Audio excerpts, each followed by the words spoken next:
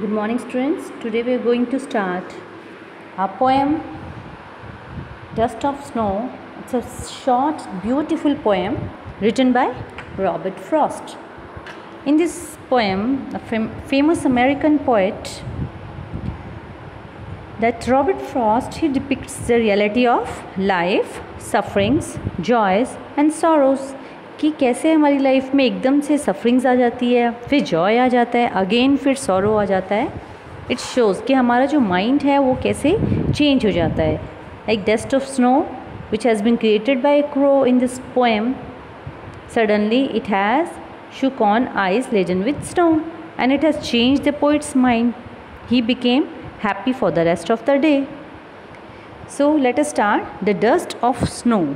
Snow की dust means जो snow है स्नो किसे कहते हैं? बर्फ़ को और उसकी जो डस्ट है मीन्स बर्फ़ का जो पार्टिकल्स हैं, वो उसके बारे में बात की कि कैसे उसके पोइट को वो कैसे मूड को चेंज कर देते हैं।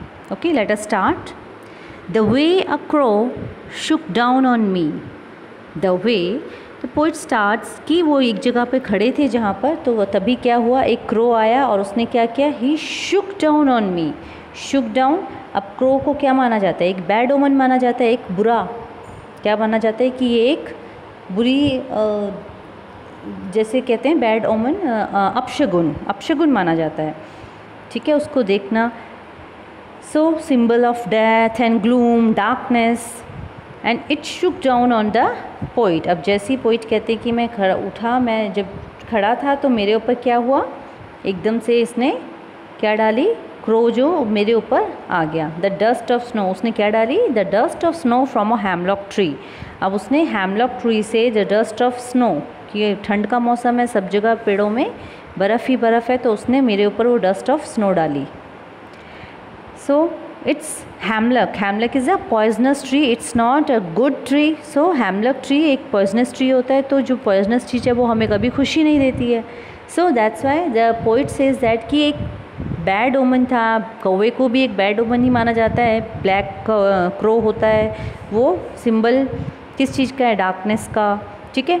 और हेमलक ट्री भी एक पॉइजनस ट्री है तो ये दोनों क्या चीज़ है? मतलब मेरे लिए एक बुरा दिन था। ये बुरा अपशगुन था ये। Okay now in the second paragraph in the second stanza the poet says has given my heart a change of mood now it has given my heart a change of mood and saved my some part of a day i had rued अब वो कहते हैं कि ये सब लेकिन इसने क्या किया जिस तरह उस कौवे ने मेरे ऊपर क्या किया वो धूल गेरी तो इसने क्या किया मेरा मूड चेंज कर दिया so has given my heart it has given my heart a change of mood अब मेरा मूड जो है वो चेंज हो गया and saved my part of a day and जो मेरा रेस्ट ऑफ़ द डे था, उसको उसने बचा लिया सेव कर लिया. मीन्स अच्छा बन गया of a day I had rued rued means that regret okay okay, अब वो रिग्रेट कर रहा था जो सारा दिन अब जो बुरा अपशगुन है वो मुझे दिख रहा है क्रोध दिखा लेकिन वो कहते हैं जिस तरह से उसने मेरे ऊपर अच्छी सी वो बर्फ़ जो है बर्फ़ क्या है?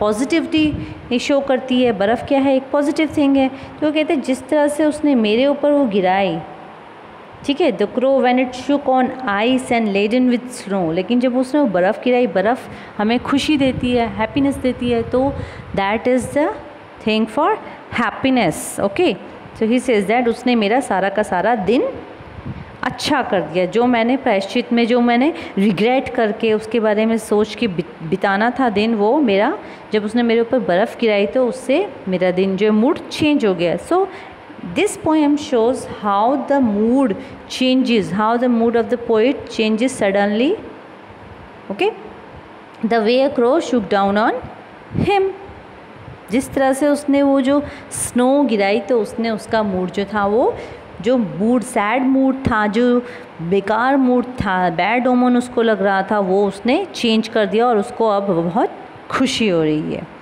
So in this poem the alliteration is use that is saved some here alliteration has been used okay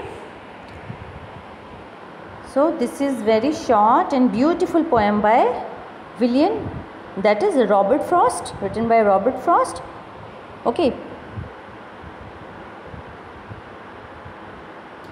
Robert Frost it tells that in the same way in our life moments they bring changes in our life that suddenly हम खुश हो जाते हैं और suddenly हम sad हो जाते हैं। तो ये सब हमारी लाइफ में चेंजेस को लेकर आते रहते हैं।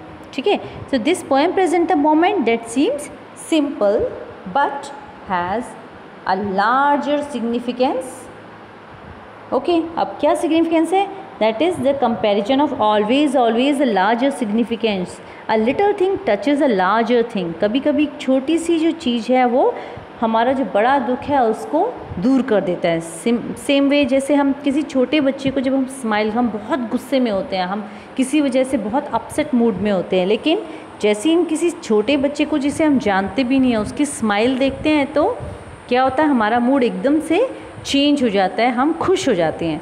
So this is what the point want to say कि what is a dust of snow the dust of a snow is a dust which has been created by a crow What does the poet say has changed his mood? The poet says that what has changed? That has changed the mood that uh, the uh, when the crow has thrown the dust of snow.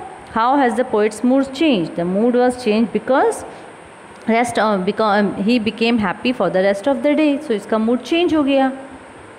Okay, how does the frost present nature of the poem? अब poem का nature क्या है? That is कैसी poem है ये? This is